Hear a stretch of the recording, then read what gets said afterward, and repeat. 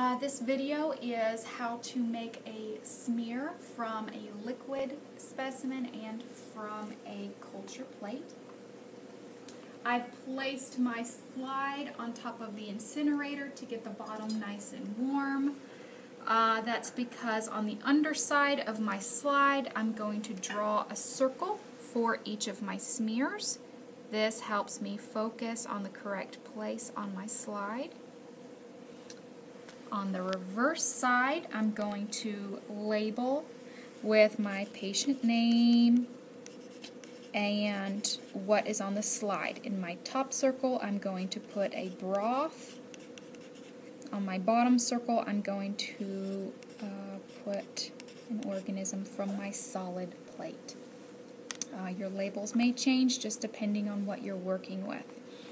So to uh, make a smear from a liquid culture, you can either use a drop from a pipette or you could actually use two loopfuls made from your loop.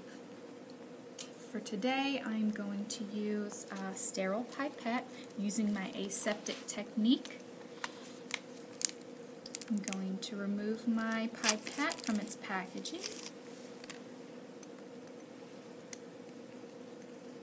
And all you need is a drop. Before you aspirate your drop, of course, you want to make sure the lid's on tight and you want to invert your broth. And just place a drop and then smear it out to cover the entire circle, target circle. And place lid back on your broth and dispose of your pipette.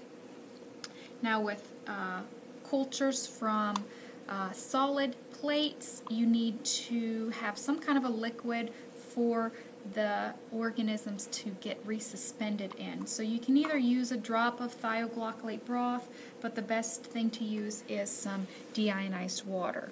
So the easiest way is to put a couple of drops in an empty petri dish so you're not putting your loop inside the deionized water and contaminating your water.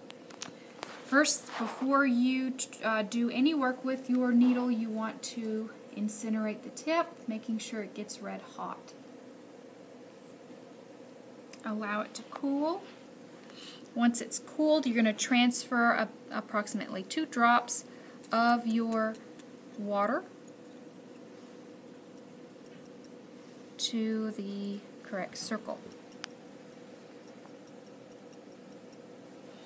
At that point, you can obtain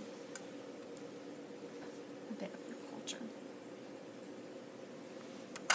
Make sure you wait for your loop to cool before you touch the organism.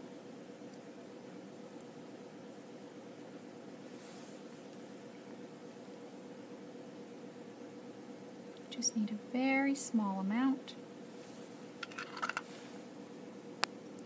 And you want to resuspend it in your target circle and spread that drop around the entire circle.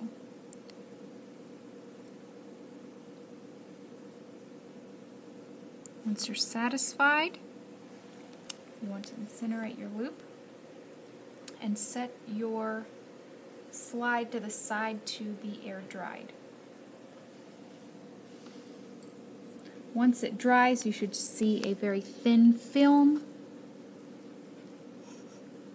Uh, of course, it's not dried quite yet, but based on the thickness of the film, you should have a good idea whether or not your smear is going to be thick or too thick or too thin.